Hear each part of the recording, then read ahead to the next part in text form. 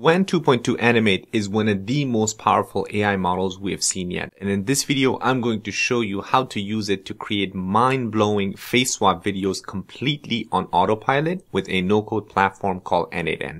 All you need to do is upload a video, choose an image you want to swap the face with, and the AI takes care of the rest, automatically generating incredibly realistic results.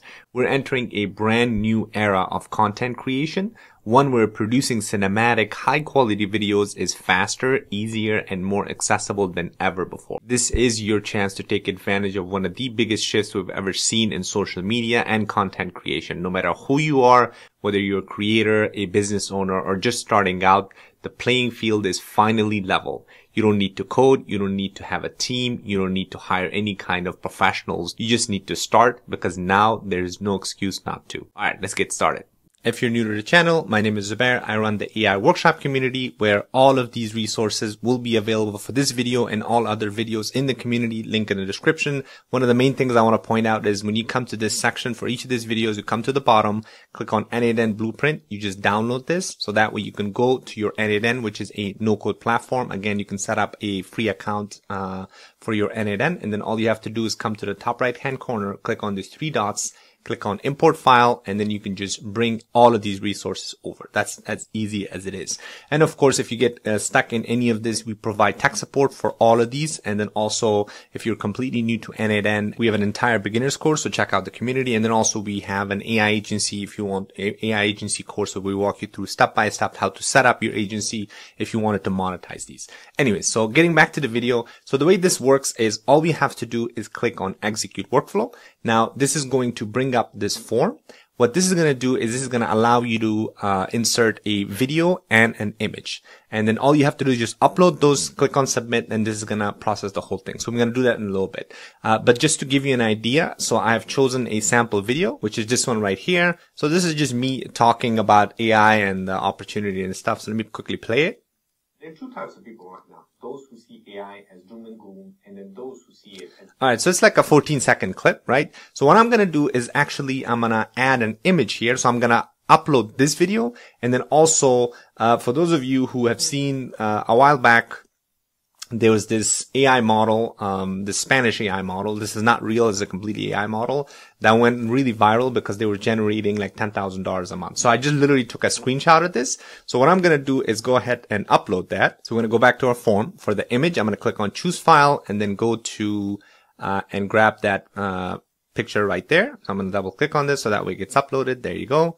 And then for the video, same thing. I'm going to go and just basically upload the sample video. So there you go. All you have to do is now click on submit. What this is going to do is this is going to submit this. And as you can see right there, it got submitted. Now the whole process is going to start. Now the way this workflow is set up, I'm going to again, like I said, go through node by node and explain what's going on. Uh, uh, because this is going to take actually a couple of minutes to generate this video because uh, this is a pretty heavy model and because it uh, depending on the length of your video uh, I would suggest to get started maybe do like a 5 second to 10 second video just so you can test it out and then afterwards you can try longer videos as well. But anyway so after the form gets submitted so this is just basically a trigger form as you can see right here. The image and the video has been uploaded and um, if you haven't set up a form submission N8N, it's very, very simple. All you have to do is click on the plus sign here and you just look for form. And if you just click on N8N form, right, this is basically a trigger. So it says on new N8N form event.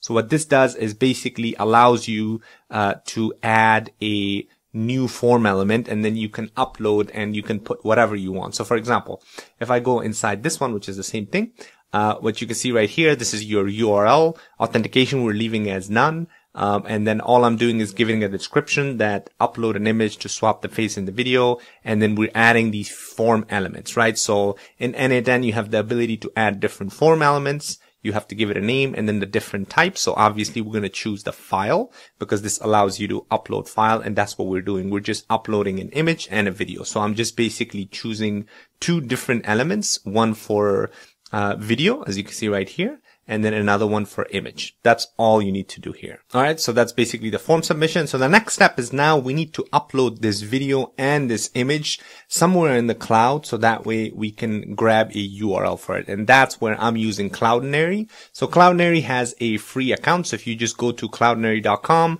basically you can sign up for a free account. They have, I think up to like, uh, so if I click on pricing here, uh, let's see, digital asset management. That's all we need. So they have a free account where you can upload up to 2500 or 25 gigabytes worth of like assets, which means like videos and uh, images. Again, you can use Cloudflare, you can use Amazon AWS, whatever you want to use, totally up to you. I'm not sponsored by these guys, so whatever, but it's just that I've used them before because they have a pretty generous free account. All right. So that's what we're doing. The second step right here. So let me get rid of this. Uh, in the second step right here, I'm using an HTTP request node to upload both the video and the image to our Cloudinary um, assets. And if I go to my Cloudinary assets right here, so this is where uh, this is where all of your assets will be sitting. So if I just refresh the page, it should have uploaded that image and the file uh, for uh, and the video. There you go, right? So that image right there and the sample video has both been uploaded, which means that now we can utilize this using the URL. And the way to grab that, so if I go back to my N8N here, so if I go inside my HTTP request node, as you can see right here on the left hand side, I'm, I, have, I have this image and the video that I recently uploaded in the form.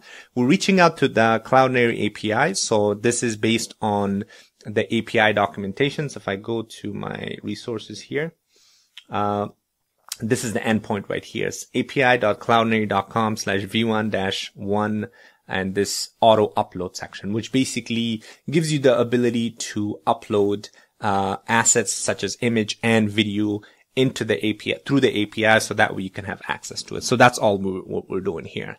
Um, and then as far as authentication, it's going to be none. We're just going to be sending form data uh, because we need to also name the preset. So the preset is going to be uh, on your account. So once you cre- create your account, we'll, you'll have a preset name. Uh, where then you'll be able to upload all of that information there. So that's all I'm doing. I'm reaching out to um, the form data upload preset, and then the value is just the name of the upload preset uh, that I have. By the way, if you're not familiar with Cloudinary, uh, feel free to uh, put your questions in the community. If you're part of my community, then I can go ahead and maybe create a video on that as well if you want, if you're not familiar with uploading this. But anyway, so I'm just uploading all of that data and presenting the name basically um, from my account details from my Cloudinary account. And then also for the parameter, right? Like I'm uploading for this particular one, I'm uploading the video right? So that's why I have to put the input data name field as video, which is the match right here.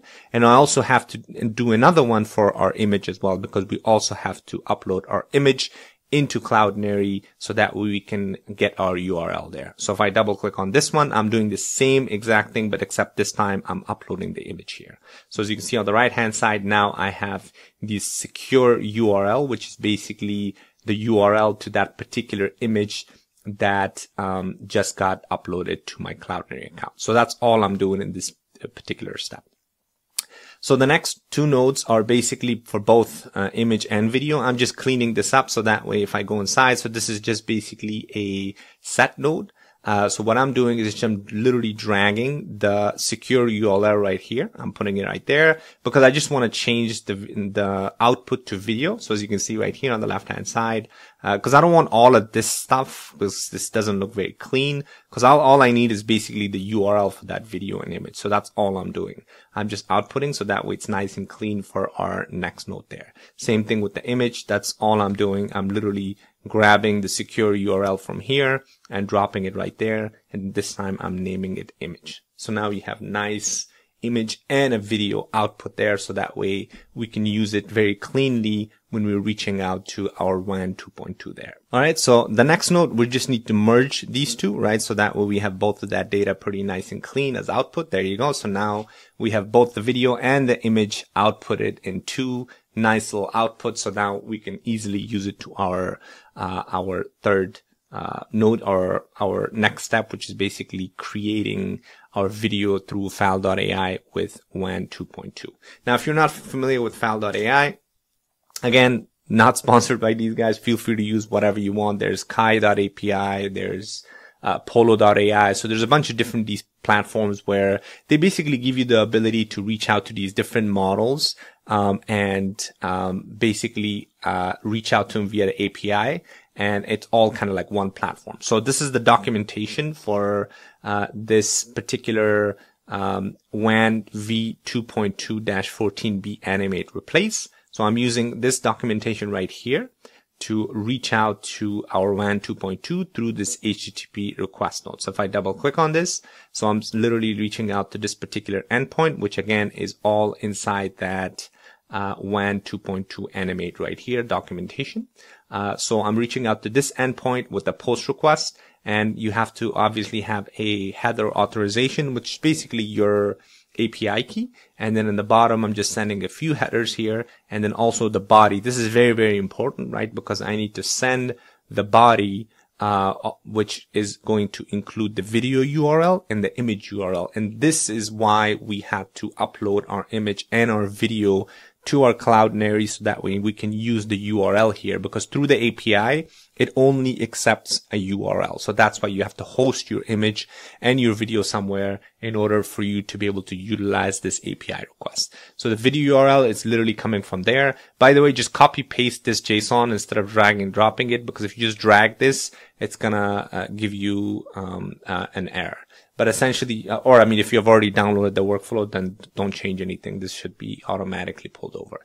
And then also we need to uh, specify the resolution because WAN 2.2 actually allows you, so if I go to submit request, uh, it allows you multiple re different resolutions. So right here, as you can see, resolution, uh, possibly 480p, 580 and 720. By default, it's going to be 480p. So that's why I am identifying the resolution to be 720p. Of course, it's going to be a, a little bit more expensive. I think it's like 80, uh, 8 cents per minute or per second, uh, of the video. So it's not that much but you know, I, I wanted to use the highest resolution. So that's why I'm identifying uh, the 720p here. And that's literally all we need. Just these three different uh, data points that we're sending to the body. And then this is just basically matching every 3000 milliseconds. Not, not a big deal. So after you submit this, what ends up happening is this goes into queue. And that's why they give you a request ID. So while it's processing, you'll be able to actually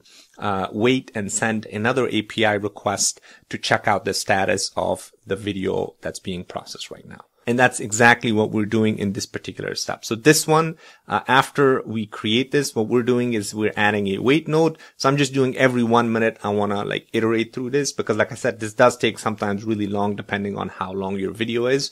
Uh, so you put a wait node uh, every minute or every two minutes or something like that. And then the next uh, node is going to be an HTTP request node. And here, all I'm doing is I'm reaching out to this particular endpoint, which is basically grabbing the status of this job that we just sent earlier, right? So as you can see right here, it says in progress. So the next node, what I'm doing, I'm putting an if node. So right here, so I'm saying if the status of that particular job is not equal, is equal to completed, then go ahead and send this over to the next node, which is basically getting that final video URL. If it's not, which if it's false, which means that if it's anything but completed, it's going to go ahead and loop through again until this comes true. So that's why you can see right now it's kind of going through. I think the last couple of times I processed this, it took like literally sometimes like between 15 to 20 minutes because that's how long it takes. And that's normal. So don't worry about it if it takes that long. I would suggest kind of like set this up or uh, in, um, submit your form and your image and then go ahead and like take a break or something like that and come back after 20 minutes and uh, you should be able to get your video. So let's go ahead and let this process or let this finish. I think it's already been 11 minutes. Uh, it's probably going to take a few more minutes so then we can come back and grab our video uh, from our last node right here. So if I double click on the last node, all I'm doing is same thing. I'm sending a GET request to this particular API endpoint with this request ID, which is basically the ID right here. The request ID is right here. And we're just basically sending that to grab that video. All right, so let's go ahead and let this process. By the way, while this is processing, if, as I mentioned before, all of the resources is going to be in the community. Uh, so if you're new to n8n, we have an entire n8n for beginners course where we teach you everything about automation, n8n, and everything you need to get started. And of course, all of my YouTube videos and all of the resources are all nice and clean here, uh, including how to uh, you know, the prompts and everything else. Um, and then of course we also have a earn with N8N launch AI agency course. So if you want to learn how to monetize these, we have our own AI agency. So we give you everything you need to make sure you're successful if you want to start your own AI agency or start uh, making money with AI because we're entering this amazing revolution that every business is going to require AI. Uh, and then we also have a voice uh, course as well, step-by-step course on how to sell voice agents. Uh, and also with Retell specifically where you can get certified actually at the end. And of course, the best part of our community is the community members themselves. We have close to 800 members from all over the world. So chances are if you want to find somebody to work with, we have a great supporting community. So make sure you check out the community. All right, let's go ahead and see what's going on here. This looks like it's still processing. I'm going to give this a few more minutes and wait till this thing finishes, then I'm going to come back. All right, so after a long time, uh, we finally got the video. So now all I have to do is click on this get video right here. So this is what it returns. It basically returns uh, the URL. So all I have to do is copy this and then I can go ahead and paste this into new URL and then it's going to download everything for me. There you go. So it got downloaded. So let me go ahead and open this up now. Okay, here we go. So I'm going to click play. There are two types of people right now. Those who see AI as doom and gloom, and then those who see it as the biggest opportunity of our lifetime. Now, if you're in the second group, you are right. We are living in an AI gold rush, and the people who act now will lead the next decade.